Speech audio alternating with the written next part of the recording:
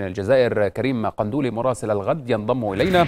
كريم يعني صمت انتخابي قبل الانتخابات البلدية السبت المقبل مزيد من التفاصيل.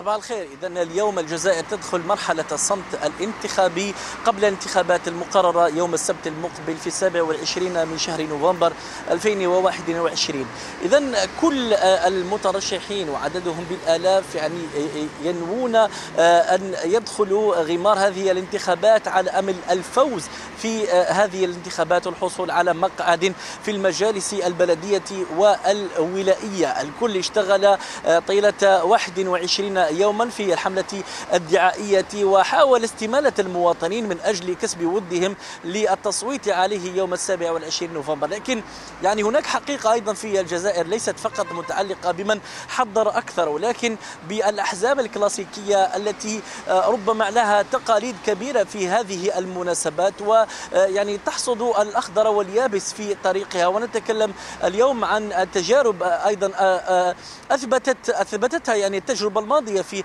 الانتخابات البرلمانية أين يعني استولى أو حصد حزب جبهة التحرير الوطني وحزب جبهة أقول التجمع الوطني الديمقراطي وحركة البناء وحمس وجبهة المستقبل وكلها يعني أحزاب سياسية مهيكلة واستطاعت أن تخرج من رمادها وخاصة أن الحراك الشعبي سابقا قد لفظ ويعني رفض كل هذه الأحزاب والتشكيلات السياسية لكن واقع الميدان لديه واقع أكثر والأكثر الأكثر تهيكلا هو الذي يفوز في النهاية وهذا بحكم أيضا التجارب الماضية. اليوم يعني في حدود الساعة الثانية ونصف ظهرا سيعقد بتوقيت الجزائر. طبعا سيعقد رئيس السلطة الوطنية المستقلة للانتخابات محمد شرفي مؤتمرا صحفيا للحديث عن هذه الفترة الدعائية التي كانت قبل الانتخابات وأيضا آخر التحضيرات التي تقوم بها السلطة الوطنية المستقلة للانتخابات لهذا الموعد الهام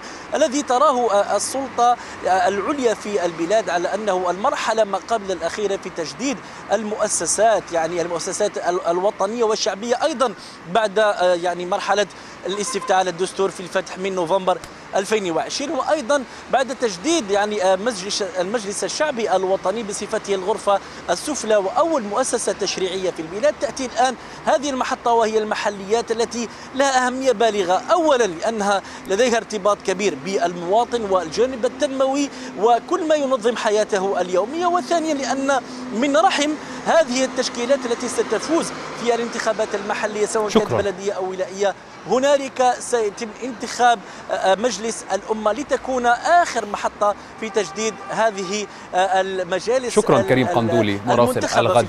كنت معنا من الجزائر.